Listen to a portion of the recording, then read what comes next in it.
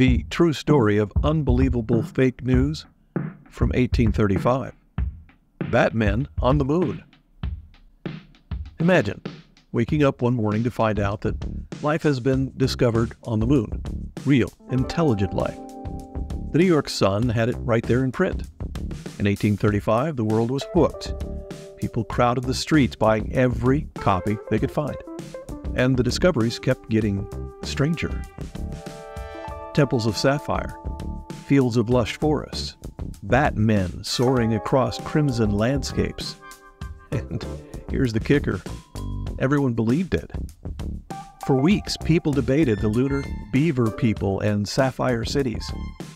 But as you'll find out in the next few minutes, the truth behind this discovery was almost as bizarre as the story itself. So buckle up as we dive into how one 19th century newspaper fooled the entire world with the tale of the moon hoax and why people actually wanted to believe it.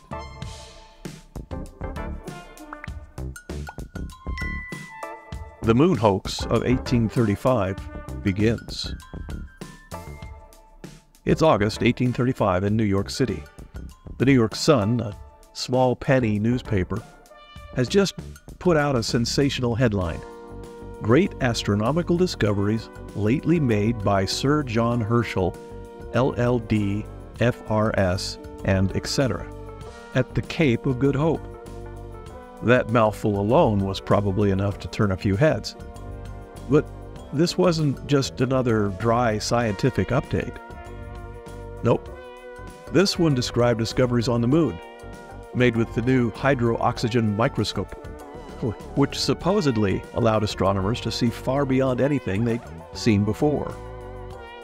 Now, you'd think a story about sapphire temples and beaver people on the moon might make people a little suspicious, right? Well, in 1835, it did the exact opposite. The public was thrilled, and perhaps predictably so were the newsstands.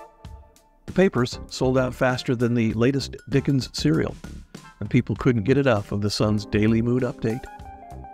Meanwhile, rival papers weren't so thrilled.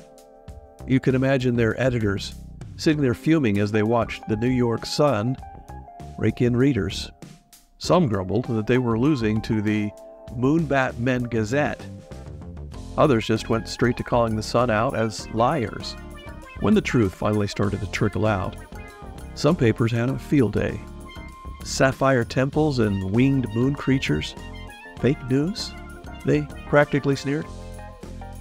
In true 19th century style, they published full exposés railing against the sun's audacity and one can only imagine the angry muttering from readers who felt they'd been duped. What were people thinking? Picture yourself back in 1835. You're an average New Yorker, grabbing your daily copy of The Sun, hoping to read about, uh, I don't know, the latest shipping news or political scandal. But then, bam, right there on the front page is the headline Life discovered on the moon. You stop dead in your tracks. Life on the moon? Did I miss something?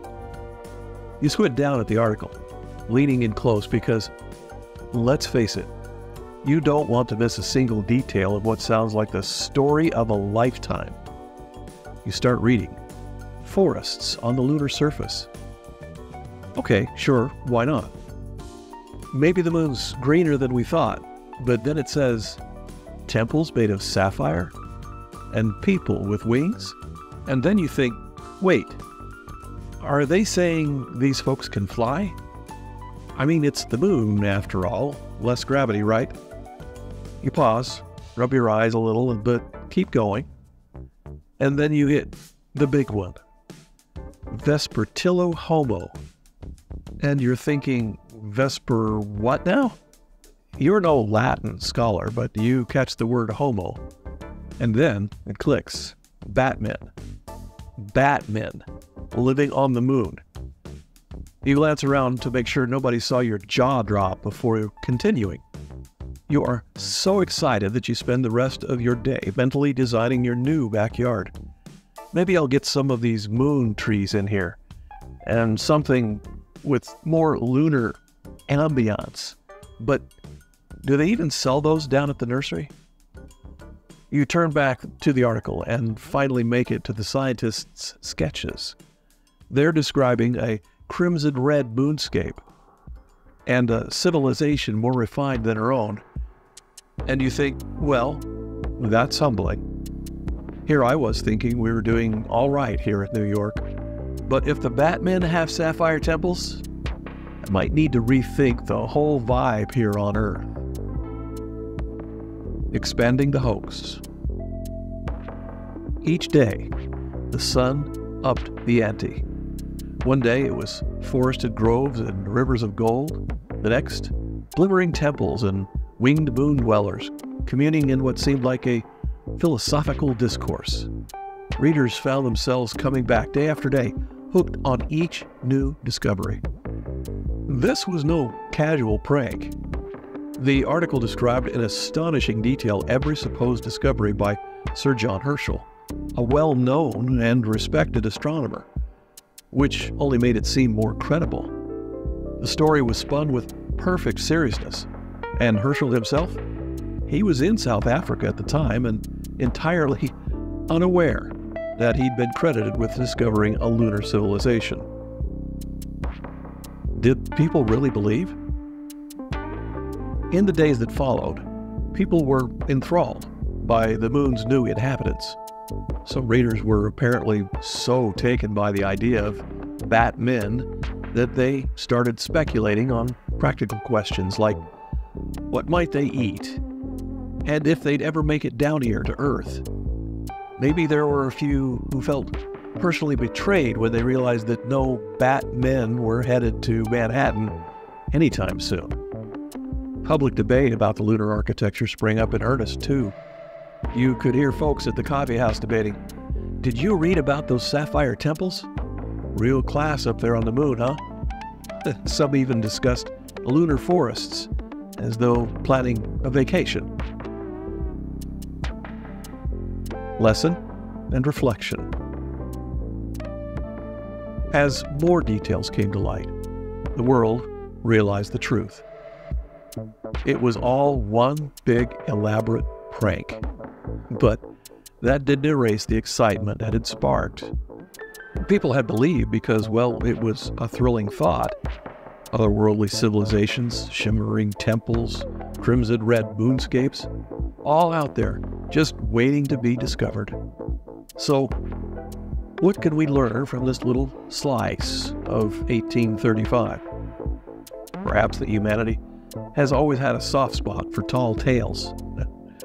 Great moon hoax reminds us that people love a good story, even if it involves beaver bat hybrids on the moon. yes, there are several potential ounces of wisdom to take from this remarkable case study. But for now, let's focus on just this one. Maybe the Great Moon Hoax isn't just about fooling people.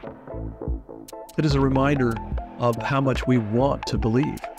Sometimes we're so eager for a new world, for new wonders, or more clinically, to hear something that confirms our bias, that we'll believe almost anything. It also reminds us to double check those headlines that seem too good or too wild to be true. Because while we're not tricked by Batman on the mood today, we're still susceptible to our fair share of modern hoaxes. In a world where fake news trends just as fast as the real thing, the Great Moon Hoax is a timely reminder to keep our eyes open and our imaginations on a leash. Here's an ounce. As an actor and former president, Ronald Reagan said to Mikhail Gorbachev after negotiating an agreement concerning nuclear weapons trust, but verified. And that's it. An ounce submitted for your consideration. Well, thanks for watching through this entire episode, which I'm going to assume you did if you actually got to this point. And if you did that, wouldn't you please go ahead and give us a like and a subscribe and maybe share it with your friends? We would appreciate it because those activities on your part help to increase our visibility on the internet, and we could really use that help. So, thanks.